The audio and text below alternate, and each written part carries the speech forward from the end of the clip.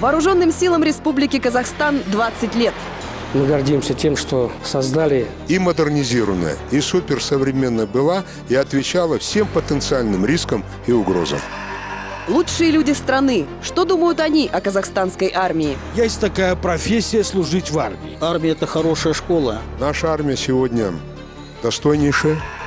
Стабильность, процветание страны под надежной защитой. Служить Республике Казахстан – это для нас честь. Натовский офицер этого не сделает никогда. Я за то, чтобы народ любил армию. Ток-шоу «Пятый угол». Праздничный выпуск. 7 мая в 19.00.